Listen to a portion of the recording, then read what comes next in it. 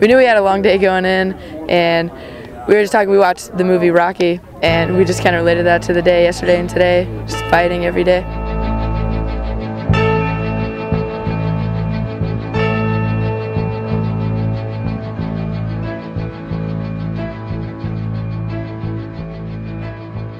Yeah, you know, we said, you know, just all we can do after yesterday's game is just kind of forget about it and kind of learn from it and do the things that we have to do that, uh, you know, put us in the position to get in the tournament and get a good seed here. But it is, it's, it's tournament time. And, you know, you look back and I think there's probably only been one time in the last so many years where the number one seeds actually got out there. So for it's, it's, always tough. And it's not a, I don't know if use it as an excuse for us. It's just, it's, it's tough because it's so balanced that, you know, the seeding really, you kind of just throw that out the door.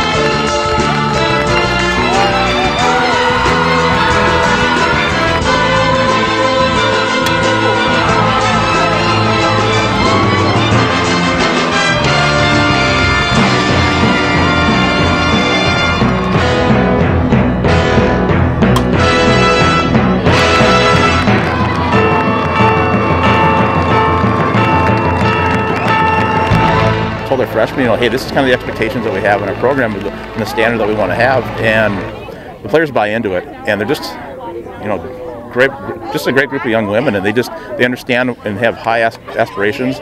Um, you know, we always tell them they're resilient. They don't know what they're capable of doing. I mean, there's so there's so much more that these guys can do. I think as a team, not just this year but in the future, that they, they understand that. We keep on telling them that this keep on going for your dreams, keep on working hard, and that's what we always talk about in our program because I feel like being in North Dakota, you're not really in a hotbed of softball weather-wise, so you don't get a chance to play, and these guys, they buy in do a great job of it.